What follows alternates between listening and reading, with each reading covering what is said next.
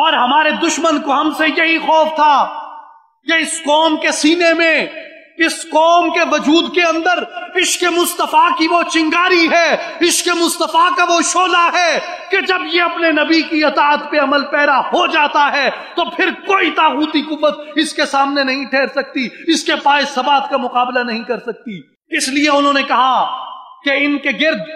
तीन ऐसी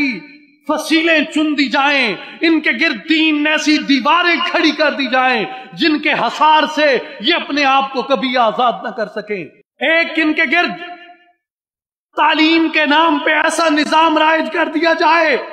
जो इन्हें खुदा और रसूल के अहकाम से दूर कर दे, और इनको लॉजिकली लादीन कर दिया जाए, बेदीन कर दिया जाए सेकुलर कर दिया जाए। और दूसरा उन्होंने कहा, इनके खिलाफ एक ऐसा मीडिया की दीवार खड़ी कर दी जाए एंटरटेनमेंट मीडिया की सोशल मीडिया की, कि ये अपने आप को गुनाहों में इस तरह घर को गलता कर दें, कि उसकी कैद से ये कभी अपने आप को आज़ाद न कर सके। और तीसरा, इनके खिलाफ इस तरह का इनके इर्द गिर्द, इस तरह का एक मुआशी निज़ाम चुन दिया जाए। मुआशी निज़ाम की ऐसी दीवार खड़ी कर दी जाए कि ये कभी भी अपने आप को सूद की तिजारत से आज़ाद न कर सके, सूद के कारोबार से आज़ाद न कर सके। अबू दाऊद में अपने माजा में,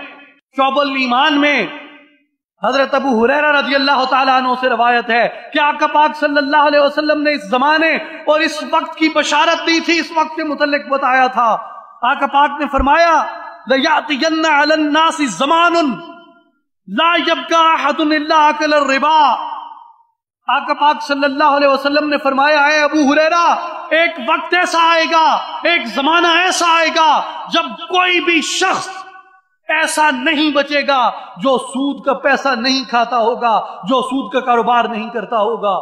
फमल्लम या कुलहू असाबहू मिन गुबार ही आका ने फरमाया कि अबू हुरेरा, अगर कोई शख्स बच भी जाएगा, जो सूद नहीं खाता होगा, उसके इर्द गिर्द सूद तो नहीं होगा, लेकिन सूद की गर्दो गुबार उसके चेहरे पे ज़रूर जा पड़ेगी। मैं सूद का कारोबार करूँ या ना करूँ, लेकिन जिस सूदी निज़ाम के तहत मैं ये करेंसी ले रहा हूँ,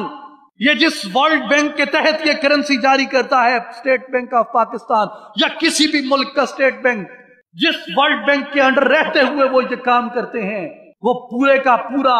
इस सूद और रिबा के निज़ाम के ऊपर कायम है।